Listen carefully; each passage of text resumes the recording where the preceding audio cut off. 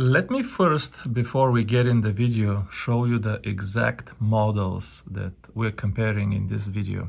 This is the 2024 Airity STLT 2000. This guy here is a little bit smaller, but note that the model name is STSF 1000. So this one is STLT this one is STSF. This size says 2000. This size says 1000. Now, in reality, the 2000 size reel has 1000 size body and 2000 size spool. I don't know if most of you know, but these numbers here really designate the size of the spool. They don't designate the size of the body. If anything, sometimes there are letters that designate the size of the body. Now, usually the same spool comes with the same body, but not always. The 1000, the little guy, the STSF 1000, has 500 size body and 1000 size spool. So the body is one size smaller and the spool is one size smaller also. And then we, first I'm going to compare these two reels. And then we're going to compare with the 2022 Vanquish 1000 SSS PG. The letters rarely matter, but this reel has 1000 size body and 1000 size spool. There is something that I've touched on in several videos, but I never explicitly articulated if you compare the 1000 size reel with 2500 size reel of any any model of any maker the 2500 size reel always feels nicer. You know my Vanfords, the 1000 size they don't feel quite perfect but all of the 2500 size Vanfords, gosh they always feel perfect the same as if you compare the Luvias. The Luvias 1000, it's alright, but my gosh, the 2500 size Luvias, perfect. Even my Vanquish. The 1000 size, yeah, it's amazing, but the 2500 size Vanquish, it always feels a little bit better. In my opinion, this comes from the fact that the imperfections and the tolerances inside the reel are the same. Just it's the same physical size imperfections. Let's say one millionth of one millimeter. I'm making up a number. But this same imperfection is, you can still kind of feel it in a small, very light reel. But the same imperfection in the larger size reel that has big gears, longer handle, big rotor, like you, you just have more mass and it's just more difficult to feel the exact same imperfection. So this is something that I want to put out there for you guys to keep at the back of your mind if you're on the edge should I get the 1000 size or 2500 size? Keep that in mind. If you compare these two reels, the 500 size body with 1000 size spool, and this one here, the 1000 size body, let's just say 500 size body with 1000 size body, I can say exactly the same thing. It's not that there is anything wrong with this reel. If I never touched this reel, I would tell you this, this reel is just perfect and amazing. You know, that's, that's what I would tell you. It's perfect and amazing and I would give it 10 out of 10. But because I had them on the same rod, they have the same line, and I fished them back to back, you know, for a couple of weeks, the the 1000 size body always felt when I switched between the rods always felt just a little bit smoother, just a little bit. I don't know how to describe it because I'm, I'm gonna use some uh, bullshit language, but it always feels just a little bit nicer than this one, even though this one feels amazing if I don't touch the other one. Uh, so keep this in mind if you're deciding between these two sizes. Another difference that I noticed when I was fishing with the two reels and I was switching between them is the effort that I have to put to reel a bluegill. The effort is different. And this is why when you do these reviews, you have to fish the reels. You can't just test them in the shop or here, you know, over the table. I told you, for example, over the table, when you test the resistance of the two reels at the knob, the resistance at the knob, like uh, torque at the crankshaft on the engines, the resistance over here at the knob is to me exactly the same on both reels. I'm sure it's not exactly the same. If you have some machine and some instruments, you can probably detect the difference but I doubt many humans in a blind test can detect the difference and can tell you which one has more or less resistance at the knob. However, when I was reeling little bluegill, I felt that with this 1000 size body I'm just reeling here. I, I, am winching. I don't want to say winching. It sounds like I'm pulling a catfish or something. I'm not saying I'm, I ski them on top of the water, but I'm reeling these bluegill very easy. What I noticed probably for first time in my ultralight fishing career that when I am reeling little bluegill, with the 5000 size body Airity, I have to actually put a little bit of an effort to, to reel the bluegill. I have to put a little bit of an effort. It feels kind of enjoyable. It's like I'm pulling the fish myself. It makes the fight a little bit bigger, a little bit more enjoyable. I think this obviously comes from the fact that you have smaller gears here. Uh, I mean, everything is smaller. Your handle, importantly, is very short, so it doesn't give you the leverage that you get with the larger reel. And if this wasn't enough, there was something very strange. These two reels have exactly the same line. 2.3 pound, Varivas, Ester, Clear, they have exactly the same line. And this one has smaller spool and I don't know why that would matter. But when I was casting, I could kind of feel the line touching the lip and coming out of the spool. It was almost like sensitivity during the casting. And I could kind of feel if the cast was effortless or the cast was... I don't know how to describe it. I, I have to use some bullshit vocabulary. But I don't know all in all, I noticed that this reel, perhaps the biggest reason is it's, it's much lighter. This reel gives you a different level of sensitivity. It's, it's sensitivity even during the cast. I don't know, I feel the line coming, coming, touching the lip here on the cast. Uh, I have to use extra effort when I'm reeling the fish, when I'm twitching the jig, I, I feel my rod a little bit more.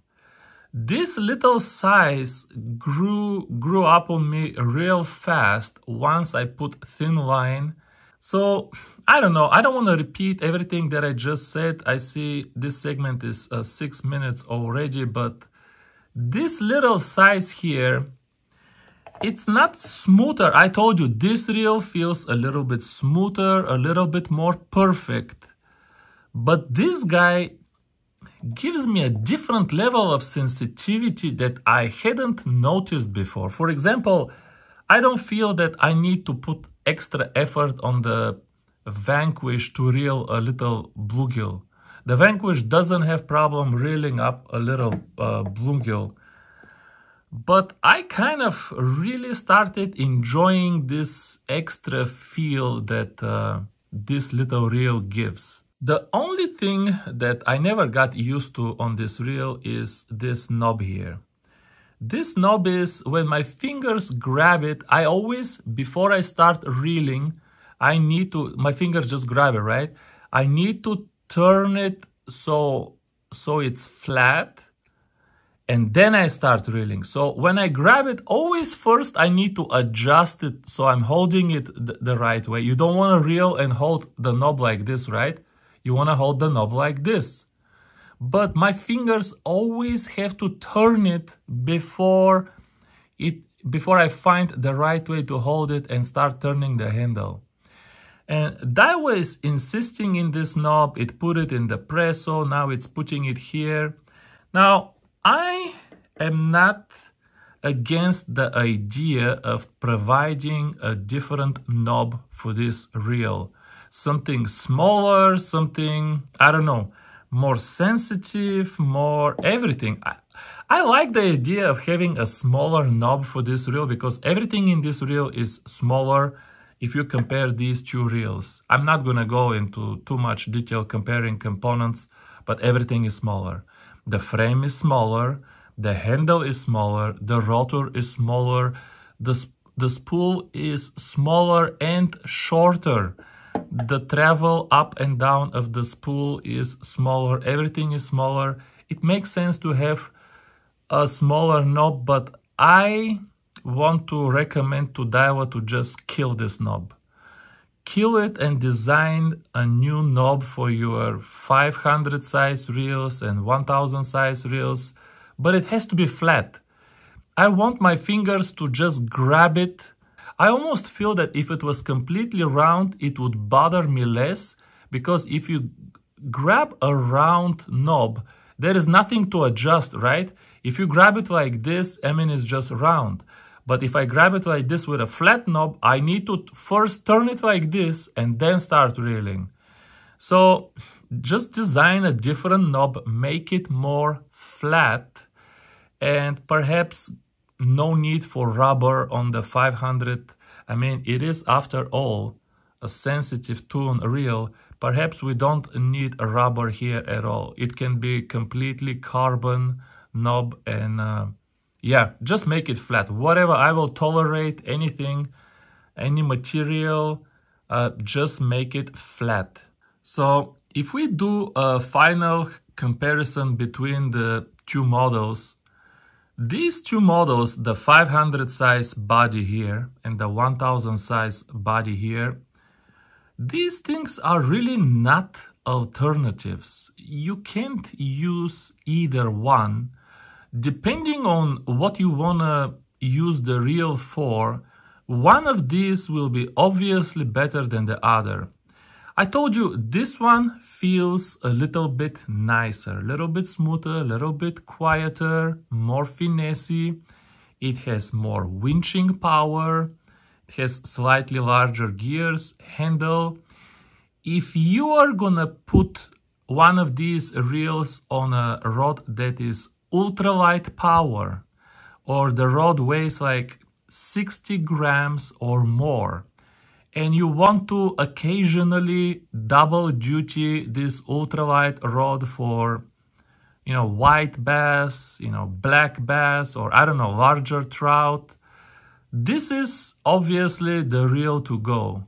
Don't put don't buy if, if you want to double duty for you know white bass black bass or larger trout or you're gonna put it on a larger rod like the 7 foot 6 Soiree XR this little reel here, the 130 gram, would be kind of inappropriate. And I have a feeling, I know Daiwa makes amazing gears and durability and all of that, but if I have to put extra effort on this reel to reel a little bluegill, and you want to use this regularly for, you know, white bass and black bass, you might actually prematurely wear out the gears and it's not like you're gonna break them or anything but you're gonna lose the brand new amazing feel of the gears so yeah for ultralight rods that weigh 60 grams or more and occasional double duty with white and black bass go with this model here for sure. And this model here, if you are looking for a reel for these exotic super ultralight rods from Japan, Eradicator, Presso Air AGS, that weigh like 42 grams, you can't, I mean, you can, but this is obviously the 500 size a much better choice. First of all, you save 20 grams.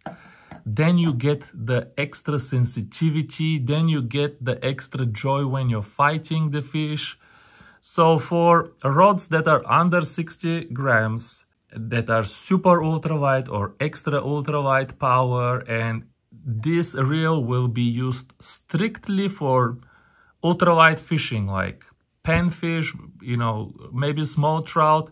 You know, occasional fish is okay, but it's important to not do it regularly and, you know, or not cast large lures like crankbaits that create a lot of drag through the water so you can wear out the gears even just retrieving, you know, large swim baits or, or crankbaits or spinners or something like that.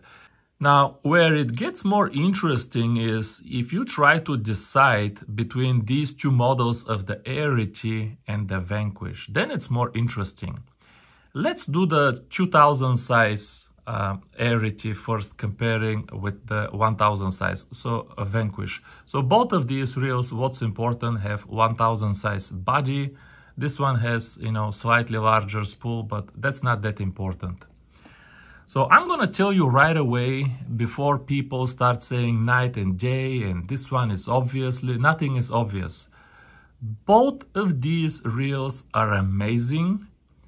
They have very similar MSRP and they offer very similar value. They offer very similar value. So I don't care too much which way you go it's really not going to be a catastrophic mistake. Don't lose sleep over this decision.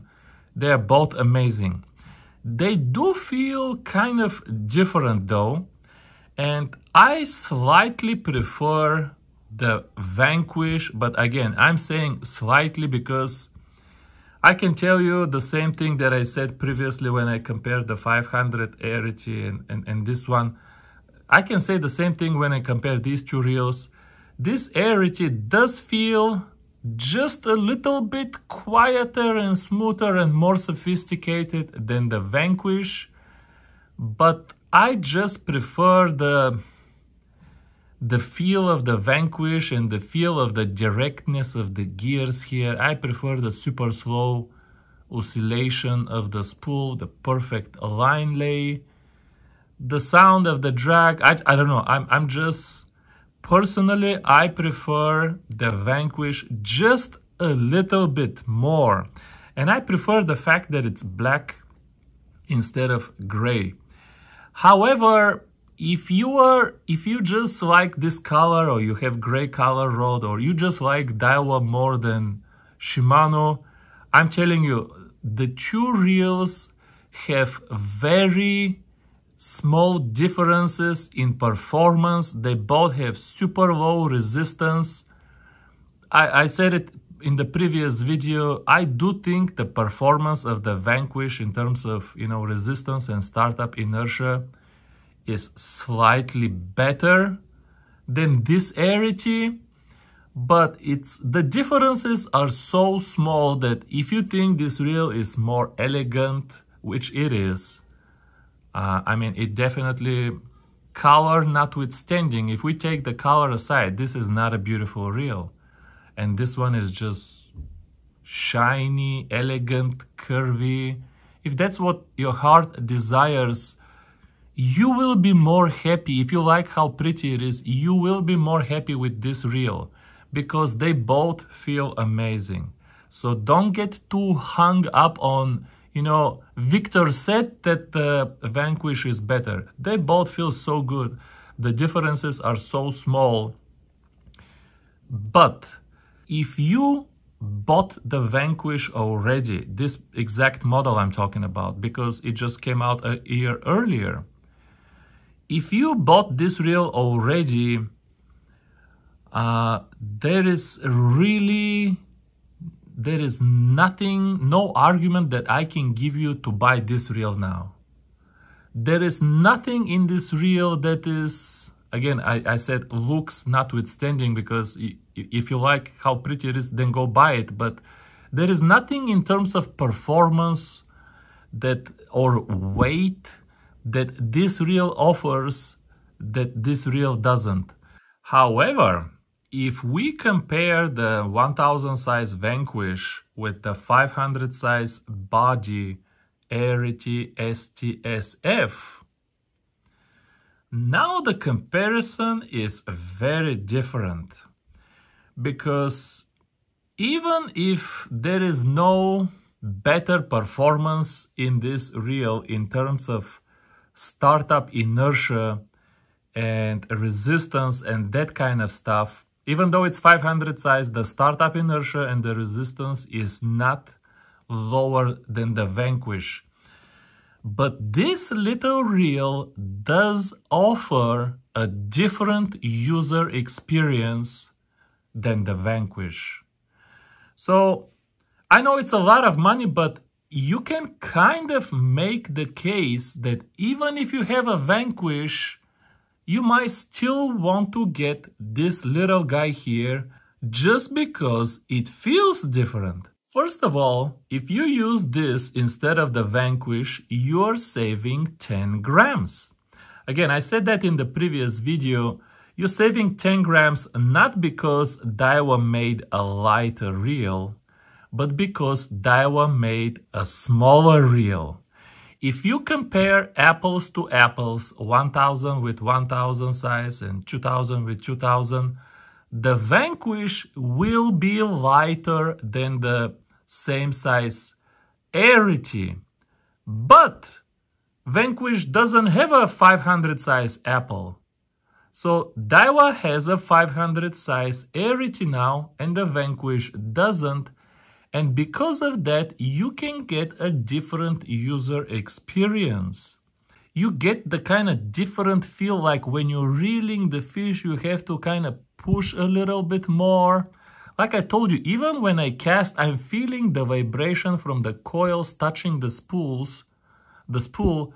I'm feeling this vibration in my hand, but I'm kind of enjoying this. When I'm twitching the jigs, I feel less of the reel and I feel I'm twitching it only with the rod. So this reel kinda, kinda offers a different user experience.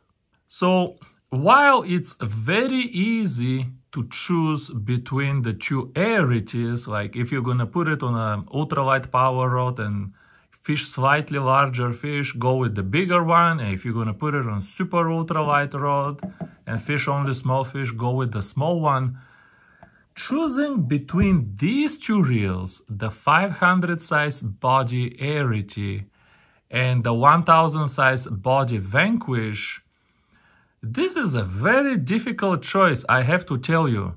Because I still think that in terms of performance and overall feel and the sound of the drag, I still prefer the Vanquish and I still think that the Vanquish is the best reel overall if you compare reels of the same size. But once again, Vanquish doesn't have a 500 size, you know, Apple. So even though I have the Vanquish, I can see how I want to have this one too. Now there is one saving grace in this terrible debacle choosing between these two reels. It's that usually the people who can afford to buy one of these reels, they can afford to buy them both. So this is a terrible advice that I'm giving you, but I kind of think you, if you can afford it, if you can afford it, and if your wife is not going to kick you out of the house I think you want you want to try both of these because they're both amazing, but they feel different. I mean, again, this one, it offers something else it might not be better than the Vanquish, but it does offer something different than the Vanquish. So I don't know. I'm gonna leave it uh, as this. I cannot uh, tell you if, if you have to have only one reel for these exotic rods that weigh like 45 to 50 gram, which one would you choose? It's really hard. I, I can't tell you which of these I like more. I feel that this reel in the long run will have much better durability. But who buys these reels for durability? Who buys? Did you did you ever consider durability when when you're buying? I mean, look here. It says it says super finesse. You don't buy super finesse for durability. By the way, I absolutely love the size of the spool on this little guy. The reason I hate these 500 size reels is that usually they come with super small spools and the line is so curly that you can never get rid of the, the coils on your line. But because this spool, even though it has a tiny body, tiny handle, but the size of the spool is good. So the line comes out pretty straight. It's not that curly. So yeah, I'm gonna leave uh, leave it like this. You guys, I hope I gave you enough uh, information to decide uh, which one of these you want. But this is the end of this video. Thank you for your patience and I'll see you soon. Bye-bye.